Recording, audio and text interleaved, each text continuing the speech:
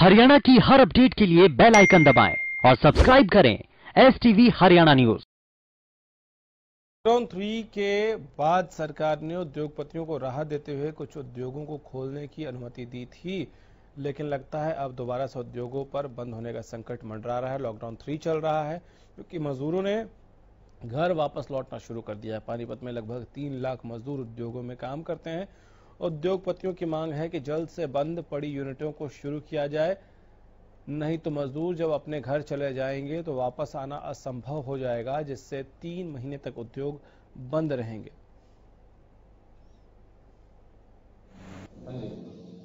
हमारी जो dyeing industry है, बेसिकली वो टेक्सटाइल की जान है।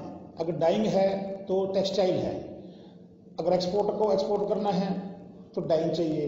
डोमेस्टिक में बेडशीट हो, ब्लैंकेट हो, कुछ भी हो तो डाइंग और प्रिंटिंग चाहिए। इसके बगैर गुजारा नहीं है। और पानी अभी इंडस्ट्री में लगभग 300 इंडस्ट्री स्टार्ट हुई है पानीपत में, और एक सिंगल डाई हाउस को परमिशन मिली है अभी तक। और अभी तक हम अप्लाई भी नहीं कर रहे थे कि सर तीन को, मई को खुल जाएगा और स्टार्ट करेंगे तो भी नहीं हुआ। इसलिए, और दूसरा, अभी लेबर की जो प्रवासी लेबर को भेज रहे हैं, अभी तक तो हम उनको सैलरी दे के या उनको राशन दे के हम रोक रहे थे, और उनको चेंज किया जा रहा है।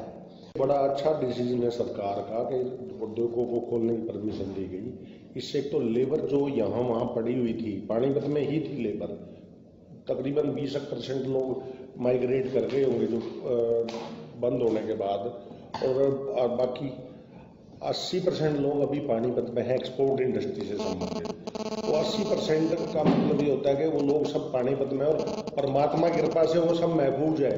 आप ये समझिए, पानीपत का एक भी लेबर वाला बंदा संक्रमित नहीं मिला आज तक। ब्लैंकेट इंडस्ट्री है स्पिनिंग इंडस्ट्री है, वो डिपेंड है इन एक्सपोर्टरों के ऊपर।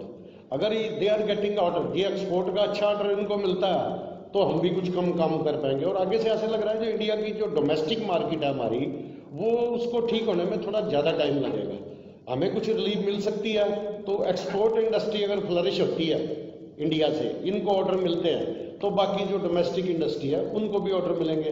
बाकी हम कुछ नेसेसिटी की चीज़ें हैं, जैसे हम ब्लैंकेट पानीपत में बना रहे हैं। ये तो ज़िंदगी की ज़रूरत की चीज़ है।